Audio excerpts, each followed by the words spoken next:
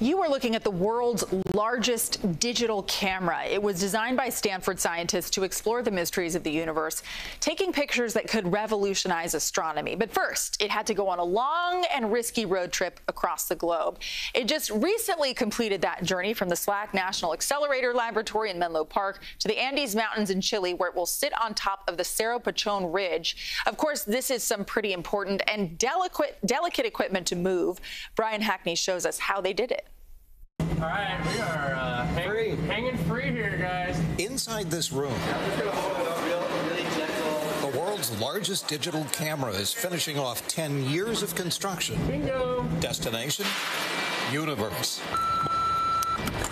Margaux Lopez has spent five years preparing for one day, the day the camera is finally shipped off. I personally am really interested in this project because it really feels to me like a progression in astrophysics and for the sake of curiosity.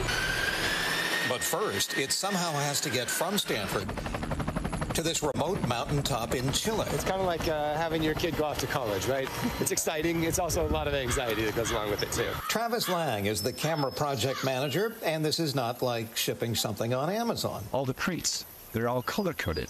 So we're going to see a whole bunch of different color codes. And that helps us when we're at the airports so that things get on the correct trucks. We've got a number of trucks coming to SLAC. So day one, we're going to have six trucks come and we're going to load all of the crates, two of the containers, get them all to the airport that day. Then the next day at four in the morning, we need to load the camera container onto a truck and take it to the airport.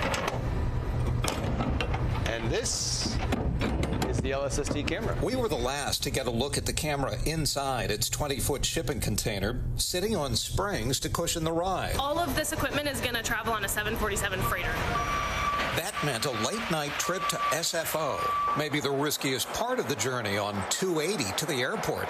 Unloading at SFO, reloading onto a 747 cargo jet, liftoff for a 10 hour flight to Santiago, and landing at 4:10 a.m. at the airport in Chile. The camera container loaded onto its own transport vehicle, and then nine trucks drove in a slow convoy to the guarded gate at the base of the observatory. It's at that point we turn off of the main highway, mm-hmm. and it is a 35 kilometer dirt road up to the summit facility. That we will go very, very slow.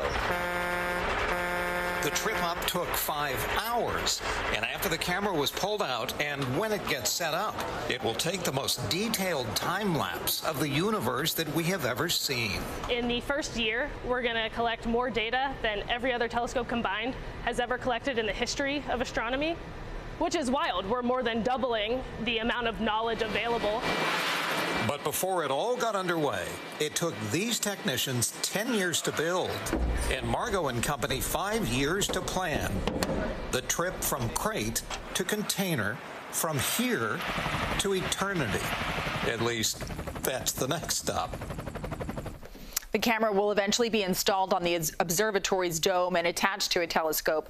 Scientists will spend several months testing it, and then late next year, the observatory plans to begin a decade-long study of the universe by generating a panorama of the southern sky every few nights.